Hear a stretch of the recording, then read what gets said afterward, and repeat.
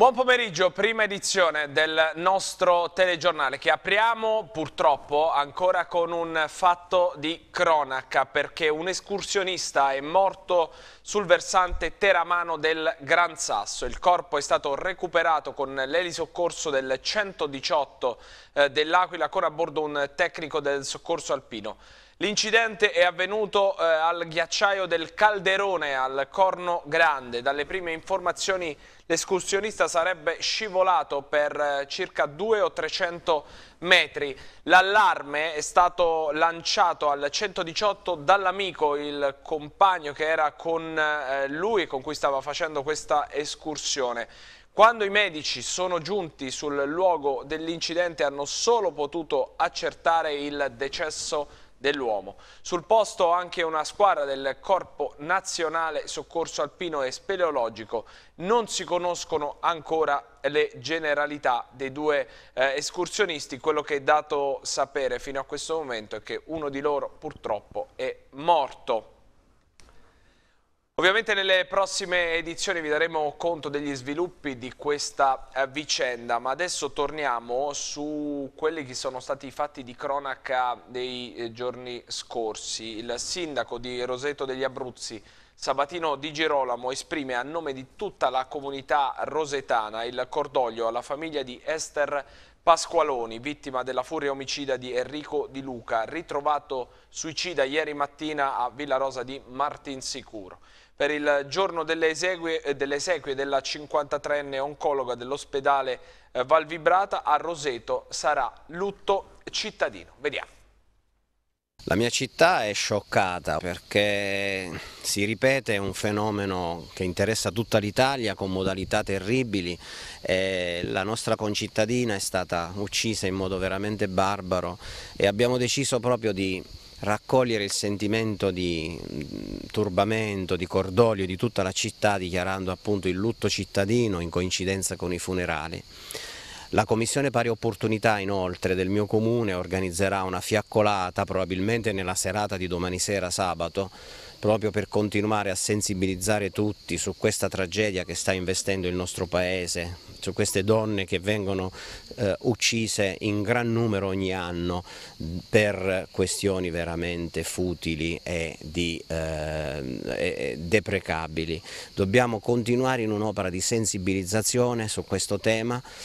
Esther era grande, un grande medico, soccorrevole, tutta la mia città, eh, specialmente coloro che soffrono per avere un malato oncologico in casa, la conoscevano, ne conoscevano l'umanità, la sensibilità, eh, non meritava certamente una morte così tragica e dobbiamo appunto quindi sensibilizzarci tutti, sensibilizzare le istituzioni ad essere più vicini alle donne che subiscono questo genere di molestia, terribile molestia che troppo spesso va poi a toccare addirittura la vita delle donne. Non sappiamo ancora la data del funerale perché aspettiamo che la procura naturalmente dia il nulla osta, eh, sappiamo che in mattinata ci sarà l'autopsia, dopodiché dovrebbe arrivare da Teramo qualche notizia sui funerali. Come avete sentito dal primo cittadino di Roseto, domani sera alle, dalle ore 21 dal Lido La Lucciola partirà una fiaccolata in ricordo della dottoressa Esther Pasqualoni, eh, la fiaccolata è organizzata dalla Commissione Pari Opportunità del Comune di Roseto. Il percorso si snoda dal Lido La Lucciola per proseguire sul lungomare, via Conti, via Nazionale, per concludersi nella piazza antistante la chiesa di Santissima Maria Assunta con un momento finale di preghiera. Rimaniamo sempre su questo argomento perché l'assessore regionale al sociale Marinella Sclocco prende spunto dagli ultimi fatti di cronaca per rilanciare la proposta di legge sull'omofobia e sulla parità di genere. Paolo Rizzetti.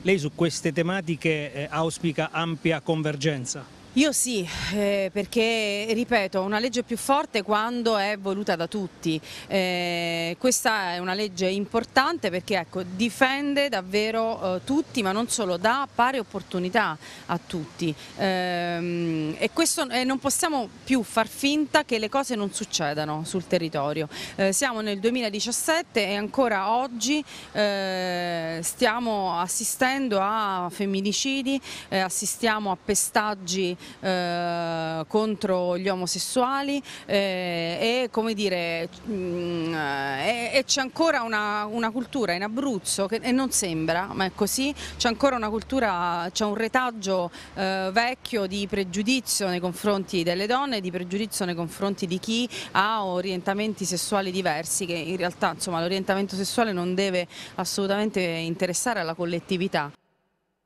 ci spostiamo a Lanciano adesso perché con l'accusa di induzione e favoreggiamento alla prostituzione il GIP eh, di Lanciano Massimo Canosa ha disposto il sequestro preventivo del centro massaggi cinese situato nel quartiere Santa Rita appunto di Lanciano. Secondo i riscontri investigativi dei carabinieri coordinati dal PM Rosaria Vecchi nel centro oltre ai massaggi venivano praticati atti di natura sessuale. L'inchiesta è partita eh, lo scorso settembre a seguito di numerose segnalazioni. I carabinieri hanno effettuato lungo questi mesi appostamenti e sentito diversi clienti, molti dei quali provenienti anche dal comprensorio frentano e Adriatico. In merito all'inchiesta sono indagati una cinese di 33 anni che gestiva per l'appunto il centro massaggio, un lancianese di 70 anni invece che era titolare dell'immobile dove aveva sede il centro. Cambiamo argomento, ammontano a 1.200.000 euro i fondi a disposizione delle imprese in crisi nell'area vestina. Il bando, che nell'ambito della programmazione 2014-2020 ha una dotazione finanziaria complessiva di 16 milioni di euro, è stato illustrato ieri pomeriggio in un convegno che si è eh, tenuto in comune a Penne, il servizio di Vestina News. Il nuovo bando di 16 milioni di euro della Regione Abruzzo prevede incentivi per le aree di crisi, di cui uno e due per l'area di Penne, ma che, che vede l'area Vestina e quella della Valfino. Sì, è stata una scelta che abbiamo fatto, quella di inserire questo territorio nelle aree di crisi.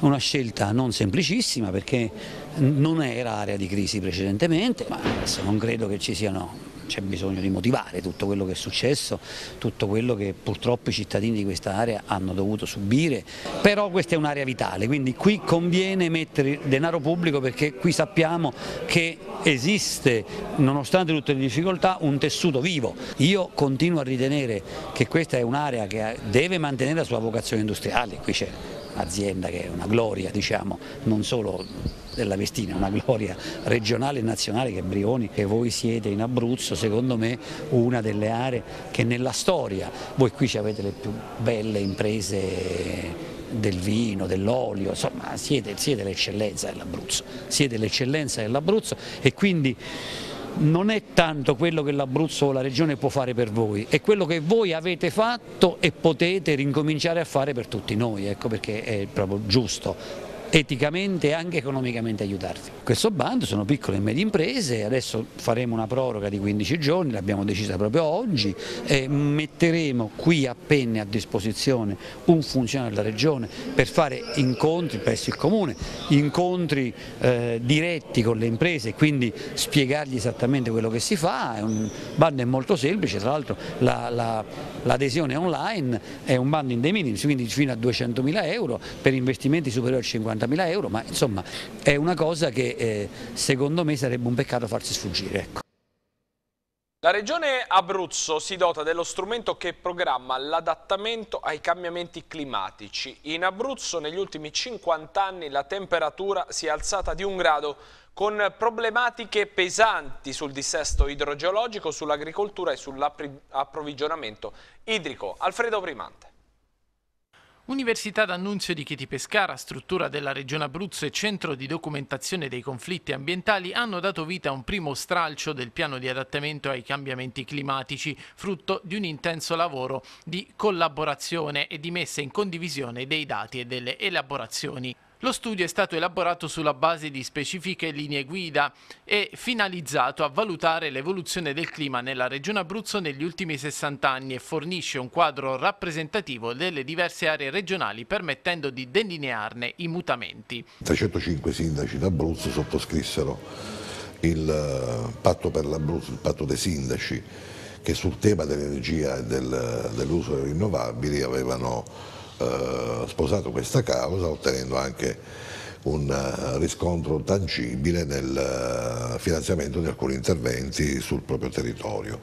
Eh, Dall'ottobre del 2015 eh, c'è stata questa evoluzione, il patto si chiama non più per l'energia ma per il clima e l'energia e quindi anche in Europa da allora è entrata a pieno titolo questa tematica e quindi questo contratto fra gli enti locali con lo Stato e con l'Europa va risottoscritto. I dati raccolti mostrano che su tutto il territorio regionale vi è un evidente riscaldamento dell'atmosfera, con un'intensificazione a partire dal 1990. L'intensità, le variazioni stagionali e quelle zonali danno un quadro dettagliato dell'evoluzione climatica regionale degli ultimi 60 anni e permettono la realizzazione di un PAC puntuale che tenga conto delle peculiarità locali.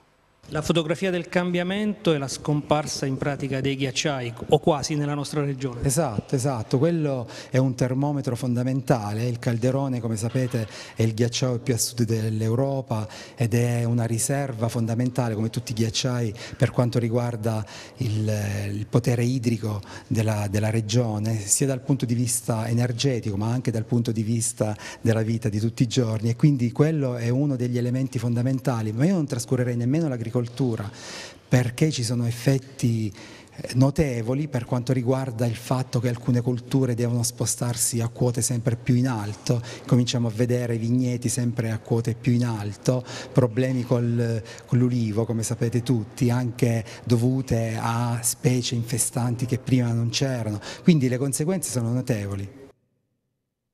Far partecipare i cittadini alle scelte della politica è questo l'obiettivo della proposta di iniziativa popolare per l'istituzione di strumenti di democrazia partecipativa in Abruzzo, a partire dalle scelte nelle opere pubbliche sopra i 50 milioni. Vediamo. Trasformare il dibattuto tema della partecipazione dei cittadini alle scelte politiche da mera propaganda a fatto concreto per la Regione Abruzzo. Il Movimento 5 Stelle e il Coordinamento di Democrazia Costituzionale hanno presentato oggi la proposta di legge regionale di iniziativa popolare per istituire anche in Abruzzo strumenti di partecipazione alla programmazione e alle politiche regionali e locali. L'obiettivo è quello di dare un forte impulso al ruolo propositivo e di controllo dei cittadini abruzzesi, realizzando l'effettiva partecipazione enunciata dal principio di sovranità popolare sancito dall'articolo 3 della Costituzione. Innanzitutto il dibattito pubblico su tutte le opere di grande rilievo a livello locale e a livello regionale, il dibattito pubblico preordinato a qualsiasi altro procedimento amministrativo.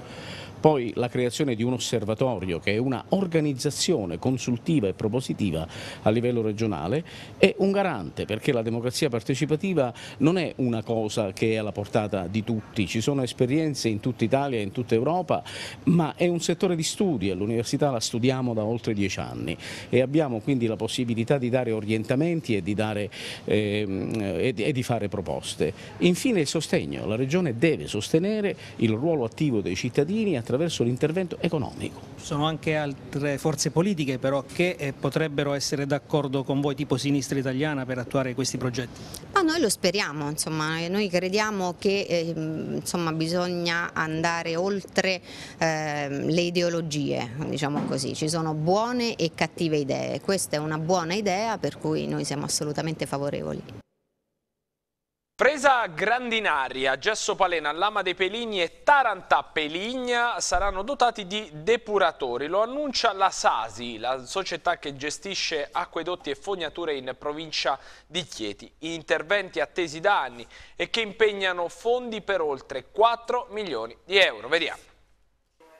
La SAS investe per realizzare nuovi depuratori a servizio di quattro località che ne sono ancora sprovviste, Fresa Grandinaria nel Vastese, Gesso Palena, Lamade Piligni e Taranta Peligna nell'Aventino. Interventi attesi da anni e che impegnano fondi per oltre 4 milioni di euro. In conferenza stampa a Lanciano il presidente della SASI Gianfranco Basterebbe fa il punto anche sui lavori programmati nell'ambito del master plan che impegneranno 25 milioni di euro per tre distinti progetti di risanamento ambientale dei corpi idrici scappatici che interessano diverse aree interne. Per il Moro Arielli Foro da Casa Cannitella Ortona, per il Feltrino Sangro da Altino a San Vito Chietino, per il Trigno Sinello Osento da Casalanguida a Torino di Sangro. Un quarto progetto inserito nel master plan investe 6 milioni e mezzo di euro nel piano di adeguamento delle fosse IMOF per tutti i 92 comuni soci della Sasi. La firma per il master plan è attesa per fine giugno con la Regione Abruzzo. Questo ci fa ben sperare che con questo intervento daremo un colpo veramente di, grossa, di grosso impatto alla risoluzione che ci trasciniamo da anni e anni e anni. Per sostituire tutta la rete occorrerebbero 250 milioni di euro, una cifra spropositata che la Sasi non ha. Le perdite sono stimate intorno al 50%. L'appello è a non utilizzare l'acqua potabile per usi impropri come innaffiare il giardino o lavare l'auto. Abbiamo ben 13 ditte che operano quotidianamente sull'intero territorio. Pensiamo che stiamo facendo il massimo anche su questo aspetto e comunque nel momento in cui eh, alcune rete fognarie, eh, vedi il master plan, ci saranno finanziati, si abbasseranno in alcuni posti questi interventi a beneficio di altri il campione del mondo della pizza è Giulio Scappatici, uno studente iscritto al corso di laurea in Scienze e Tecnologie Alimentari all'Università di Teramo. È stato recentemente incoronato all'Expo di Las Vegas ed oggi ha presentato alla stampa la sua specialità nell'ambito della manifestazione I Venerdì del Gusto. Il servizio di Tania Bonnici Castelli. Tra scienza, innovazione e gusto, l'Università degli Studi di Teramo, fucina di novità nel settore delle bioscienze e tecnologie agroalimentari, organizza cinque appuntamenti per far conoscere attraverso un percorso sensoriale le ultime scoperte realizzate dagli studenti dell'Ateneo. È un'iniziativa che mh, porta a um, evidenziare la presenza della scienza nel piatto, scienza intesa sia come caratteristiche dei prodotti che vengono consumati ma anche nelle modalità di preparazione. Abbiamo cominciato la settimana scorsa con i confetti, erano dei progetti portati avanti con un visiting professor dell'Università di Israele, quindi la preparazione di confetti salati e dolci per far uscire questo prodotto dalla nicchia della ricorrenza frequenza, quindi, ma di, per proporlo ad esempio anche come, come aperitivo a altre occasioni di consumo. Oggi parliamo di pizza, pizza prodotta con ingredienti particolari a valenza eh, salutistica da un nostro studente lavoratore che lavora presso un molino che fa farine di qualità. Poi andremo avanti con il naso elettronico e, e olio d'oliva e poi parleremo di ultracentenari, quindi l'impatto della dieta sulla, mm, sulla, durata della vita e in Abruzzo abbiamo un numero ragguardevole di ultracentenari, la nostra convinzione è che questo sia legato fortemente all'alimentazione. E, e, poi eh, chiudiamo con il vino cotto. Per questo venerdì del gusto Giulio Scappaticci, studente dell'Ateneo Teramano iscritto al corso di laurea in Scienze e Tecnologie Alimentari, ha presentato tre tipologie di pizza, due innovative ottenute con farina alla curcuma e alla canapa e una margherita tradizionale. Scappaticci è diventato un pizzaiolo di fama mondiale, un campione, vincendo a Las Vegas l'International Pizza Expo. Giulio, tu fai la pizza più buona del mondo, ma che ci metti? Eh, l'ingrediente principale secondo me è la passione che ho per, questo, mm, per la pizza. E unita anche allo studio che faccio in scienze e tecnologie alimentari qui presso l'Università di Teramo eh, appunto studiando i giusti abbinamenti, la cottura, le varie reazioni durante la cottura, le varie reazioni durante il, la fase di lievitazione e di maturazione del lievito di birra, eh, della preparazione del lievito madre, quindi la fermentazione acida, alcolica. Secondo me eh, studiare per il lavoro è una cosa fondamentale. Insomma sei uno scienziato della pizza. Sì. E complimenti allora a Giulio Scappaticci. Cambiamo argomento, cultura, spettacoli ed enogastronomia sono al centro del ricco cartellone estivo del comune di Loreto a Prutino. Primo evento domenica prossima.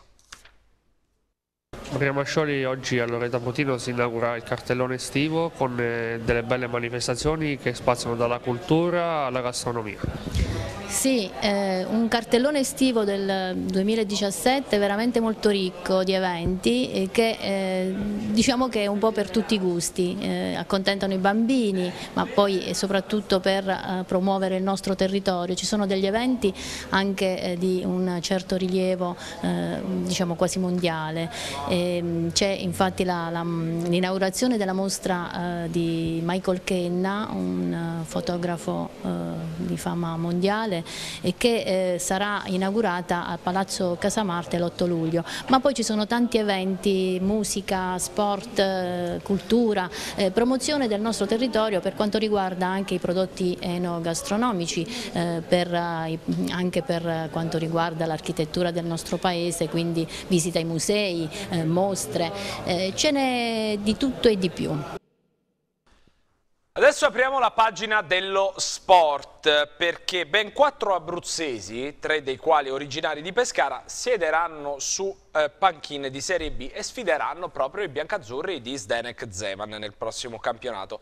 Negli ultimi due giorni sono stati presentati Fabio Grosso e Vincenzo Vivarini, rispettivamente neo allenatori di Bari ed Empoli, il servizio di Andrea Costantini. Quattro abruzzesi, tre dei quali pescaresi, saranno fieri avversari del Delfino nel prossimo campionato di Serie B. Strano destino per il Pescara che si affiderà al maestro Zeman per respingere la carica di alcuni dei suoi figli prediletti. Roberto D'Aversa, confermatissimo a Parma dopo il trionfo nei playoff di Lega Pro. Fabio Grosso, dopo quattro anni prosperi alla primavera della Juventus, debutta in B a Bari. Andrea Camplone, confermato a Cesena dopo la salvezza dell'ultima stagione. A questi tre pescaresi si aggiunge Vincenzo Vivarini che di Pescara non è, ma che a Pescara ha iniziato ad avere a che fare con il calcio che conta ed ora guiderà il retrocesso Empoli.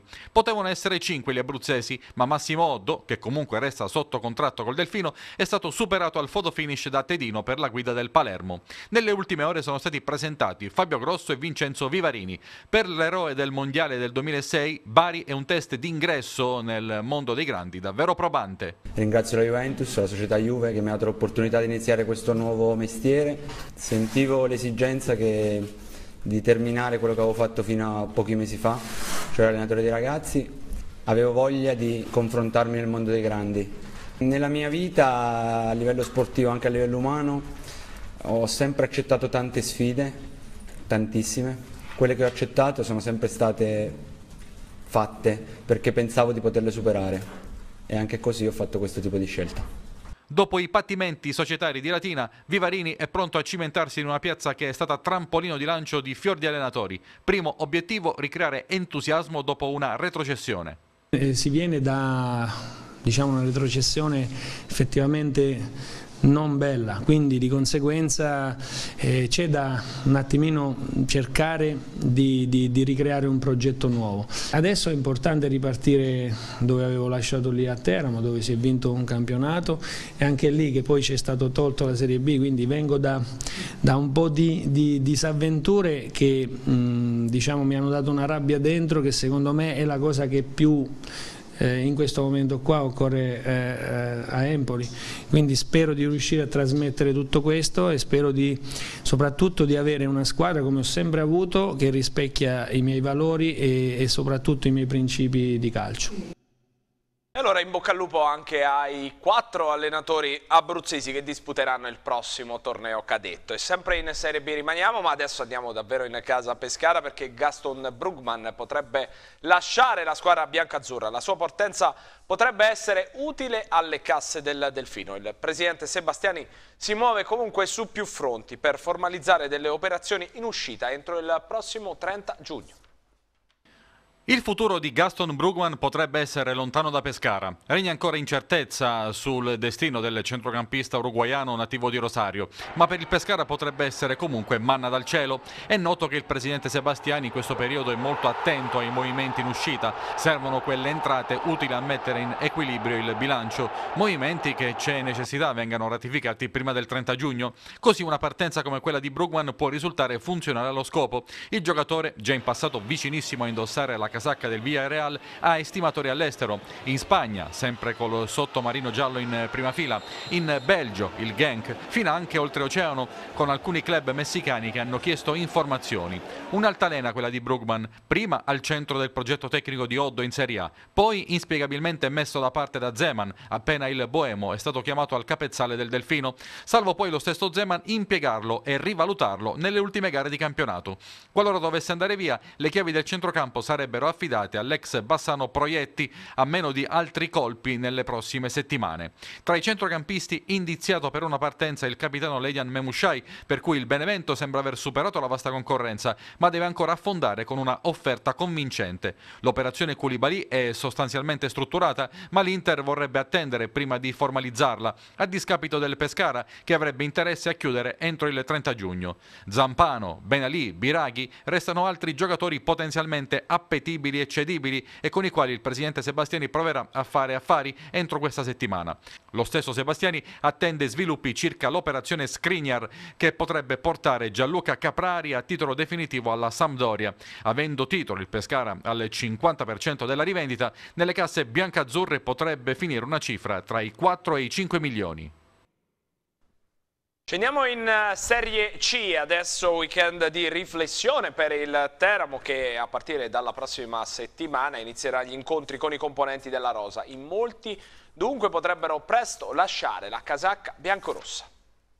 Da lunedì il Teramo inizia davvero a voltare pagina, infatti dopo il weekend di pausa che consentirà di fare le ultime riflessioni con l'inizio della nuova settimana, il direttore sportivo Giorgio Repetto comincerà le consultazioni per comunicare ai giocatori che non rientrano nei piani tattici del diavolo, che sono sul mercato e che con un'offerta possono partire. I primi sul taccuino sembrano essere il centrocampista Pietro Baccolo e il terzino Raffaele Imparato, che arrivati nel mercato di riparazione non sono riusciti per svariati motivi a migliorare il tasso tecnico generale della squadra. Poi verranno gli altri, anche perché una volta capite le intenzioni dei singoli giocatori si avrà un quadro più definito su dove e come intervenire. Come già ribadito sarà un discorso che potrebbe non interessare solamente quegli elementi che hanno avuto un peso marginale quest'anno, anzi stavolta il Teramo ragionerà in maniera inversa, ha dei punti fermi che confermerà, per tutti gli altri si cercheranno o soluzioni alternative o eventualmente, e qualora Asta dia l'assenso, si proverà un recupero psicologico prima che fisico. Per le entrate ci sono in pole position Ventola, Bruno e Valagussa, tre nomi che andrebbero a puntellare la zona centrale del campo, gli ultimi due, e a rinforzare un pacchetto esterno di difesa che potrebbe subire appunto la partenza di Imparato, ma anche di Carcalis. Sul terzino Scuola Pescara però ancora nulla è definito, mentre la questione Sansovini è una delle più complesse. Il ragazzo non ha sfondato nelle preferenze dei tifosi biancorossi Rossi, ma l'estate scorsa per sposare il Teramo Sansovini ha fatto una scelta di vita, rinunciando a trasferirsi in una squadra del nord. Adesso a 12 mesi di distanza non vorrebbe vedere vanificata completamente quella scelta. Repetto che lo conosce molto bene, ci parlerà a fondo per capire se e quali margini ci siano per muoversi. Solo dopo sarà presa una decisione definitiva che ad oggi però non è per nulla scontata. Intanto sembra allontanarsi l'ipotesi Polidori, l'ex Arezzo piace anche in Serie B e questa eventualità potrebbe complicare un approdo in casa Teramo per la prossima stagione. Parliamo di ciclismo adesso perché il patron del trofeo Matteotti, eh, Renato Ricci, ospite ieri sera della nostra trasmissione Velo, ha parlato della mancata assegnazione del campionato italiano alla classica pescarese, ribadendo però che la settantesima edizione in programma domenica 16 luglio sarà garantita. In dicembre ho avuto la più grande delusione perché in, quando tutti gli organizzatori eh, italiani erano a favore del trofeo Matteotti per i 70 anni. E, mh, stranamente non decidevano, ed è stata una cosa molto strana perché si è prolungato per diversi giorni, perché evidentemente sapevano già che doveva andare in Piemonte e diciamo che eravamo quasi certi, ma lo erano, lo erano anche i nostri diciamo, colleghi. Poi eh, siccome, come tante volte succede, è uscito qualcosa di più importante e chiaramente davanti all'interesse l'amor mi passa. Quindi siamo rimasti veramente delusi, ma non solo io deluso, io deluso per i miei collaboratori, per tutte le persone che sono legate al trofeo Matteotti e la popolazione di Pescara, a prescindere se ci va o non ci va, si chiede il Matteotti quando si fa, il Matteotti si è fatto, perché diventa quasi una, una questione familiare. Mm, facciamo buon viso a cattivo gioco, io avevo fatto una promessa e io le promesse le ho sempre mantenute e quindi il settantesimo si andrà, si andrà a fare. E politicamente, dico la verità, forse potremmo avere un riconoscimento perché sono stato autorizzato a dirlo, molto probabilmente alla presentazione verrà il Ministro Lotti.